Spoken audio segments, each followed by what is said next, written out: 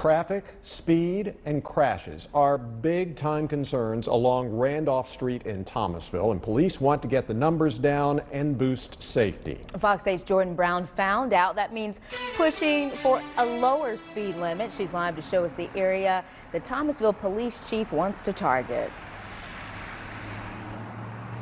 Yeah, guys, the speed limit change is going to be down this stretch of Randolph Road all the way down to Lambeth, which is about a half mile from where I'm standing.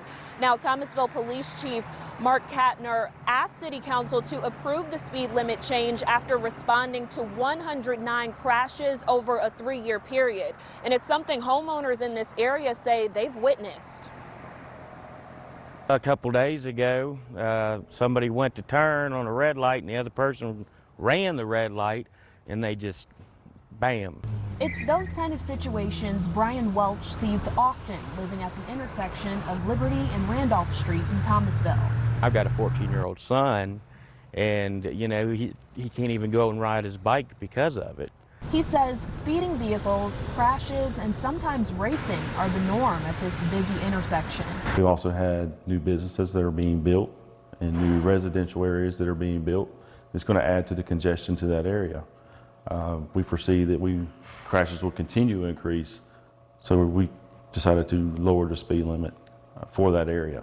The current speed limit on Randolph is 35 until you get to Cedar Lodge Road. Then it's 45. Then when you get to Lambeth, it goes up again to 55 miles per hour. Thomasville police want to extend the 35 mile per hour speed limit further down the road, starting the 45 miles per hour speed about halfway past Liberty Road, taking it up to 55 at Lambeth. I think it would be wonderful. I think it would help out uh, this area of the community a whole lot as far as uh, safety wise. At Randolph and Liberty, there have been 54 crashes over the last three years. Just down the road at Randolph and Cedar Lodge, there were 45 crashes in the same time period. Sometimes Brian's home becomes collateral damage. But we've also in this house have had somebody hop the uh, ditch and run into the side of it and took out the AC unit.